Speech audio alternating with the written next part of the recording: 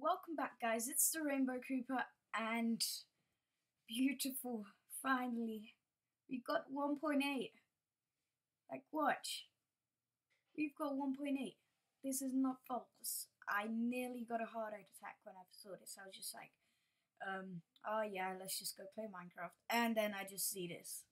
And I've been playing on snapshots and everything. And oh my god, I nearly got a heart attack when I saw this.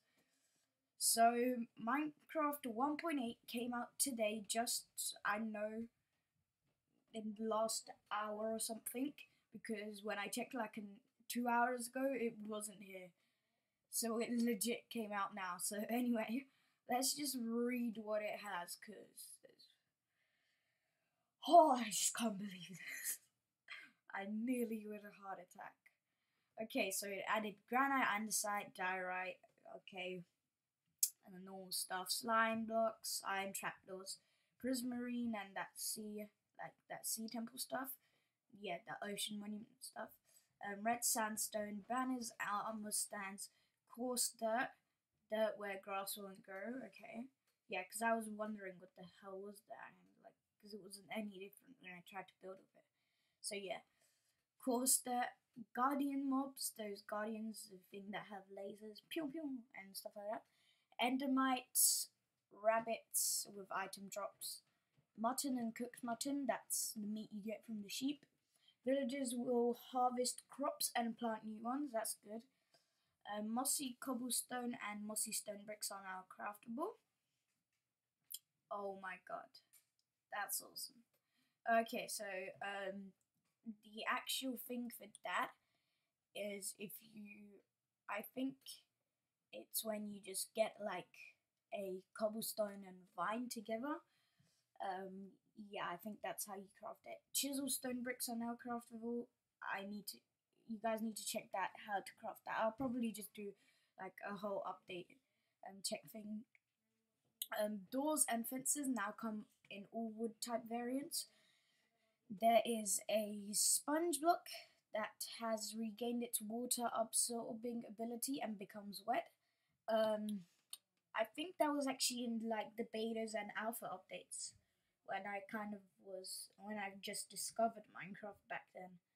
And yeah, so it's gained that ability again. It's added a spectator game mode. So game mode three is basically when you just fly around and you can't literally break blocks, do anything. Kind of like adventure creative adventure and creative mode mixed together. So you can't do anything, but you can fly and you're invisible. So kind of like that. Added one new achievement. Don't know what that is. Added the customized world type where you can just create your own world. Like you can just like um I created my one once and it was like um you could have like lava oceans and all cool sorts of stuff like that. It's adding a hidden debug mode. That's like when you make your world like you know, um, uh, amplified, and when you click that button, um, so like default, flat, amplified, and customized, that's all you see. But if you press shift and click that button, it will go to debug, and that basically shows all the blocks from like all different angles and stuff. And yeah, and it takes you into the new spectator game mode too. Spectator game mode. Um, where were we? Okay. We were here. Um, worlds can now have a world border, so barrier. That's kind of if you've ever seen like SethBling or anyone like that. They kind of just have like a world border. Um, the block data command, the clone command, execute, fill, particle, test for blocks. That that this this this command will be very helpful, because yeah, it is. I I know it um, the title command, I did a tutorial on that, if you guys remember. Um, yeah, and the test for blocks, it just means that you can test for different blocks at which, like, at each position, so you can, like, choose it. You can, that's a very good um, thing for map makers, because, like, pretend if you just made a map and then they had to collect some sort of block and then place it in, like, I don't know, like a library and then you placed it and then that and then that command gives an output to like something like fireworks, so it activates some sort of fireworks and stuff. Yeah, that there's an idea. Um, the trigger command, don't know what that is. The world border, that's the barrier. Yeah, that's the barrier command. The slash stats command. Containers can be locked in custom maps by using the lock data, the lock data tag. Um, yeah, which means like um, you can lock chests and stuff. Added log admin commands shows death messages, reduce debug info, um, send command feedback, and random tick speed game rules. So those are basically game rules like the keep inventory and stuff like that. Well, these are new ones. Um, added three new statistics. Player skins can now have double layers across the whole model, and left slash right arms can arm slash legs can be edited independently. So you can have like one arm like that and the other different and stuff like that. And you can have like a whole second layer, so you can have like you know your skin and then the cloak on top of that, and then you can obviously take off that cloak. Um, added a new player model with smaller arms and new player skin called Alex. Uh, what? Oh, I think it's like another skin, so like Steve and stuff. Um, added options for configuring what pieces of the skin that are visible. Blocks can now have custom visual variations in the resource packs. Um, Minecraft Realms now has an activity chart so you can see who has been online.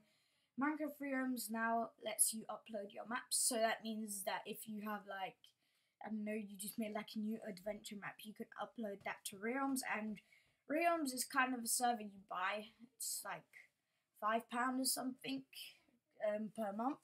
That's like ten dollars or, so, or something around those lines. And yeah, so that's that. And yeah, it's basically a server, and you can only have like your friends on it and stuff that you want, the people you want. Difficulty setting is saved per world, and can be locked if wanted. Enchanting has been redone. Now costs lapis lazuli in addition to enchantment levels. That's basically in your enchantment table right now because lapis before just didn't have like anything. You just couldn't do anything with lapis. Now basically what you do is you put in your tool, you put in the lapis, and then it you get you can get for like a, a level three enchantment. That'd be like I know like power five or something, or like punch two, or like um, sharpness five. It can be like crazy stuff like that because you're using lapis. That's kind of hard to find. Difficulty setting is saved per world and can be locked if wanted. So that means you can like lock it on hard so that no other player can like change it to easy or something. In um, villager trading has been rebalanced so you won't get the stupid crazy trades. Anvil repairing that has been rebalanced so that means yeah um, you can just do stuff for like level 3 enchantments and stuff. Uh, max render distance has been increased to 32 chunks, that's 512 blocks. Adventure mode now prevents you from destroying blocks unless you or items have the can destroy tag. Um, yes, yeah, so you can't destroy blocks in adventure mode um, unless you there's a new tag. It's kind of you use it with a command and um, so you can make, get like a shovel, and then that can destroy block, and then it has like can destroy dirt and diamond ores. You can just do that sort of stupid stuff. Um, um, resource packs can now also define the shape of blocks and items, not just their textures. So you can have a triangular block, block if you uh, make like a custom texture pack or something. Scoreboards have been given a lot of new features, so instead of just like getting like the death count, they can have like random new cool stuff. Block and ID numbers, oh yeah, this is very important. Block ID uh, numbers such as 1 for stone are being placed by ID names such as Minecraft stone. So when you used to want to get a command block, so it was like slash give I know your username um 137 I think it was. Now you have to do slash give your username Minecraft colon command underscore block.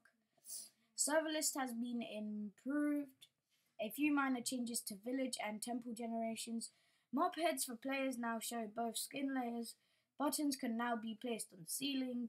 Lots and lots of other changes, lots and lots of other changes, and removed Herobrine.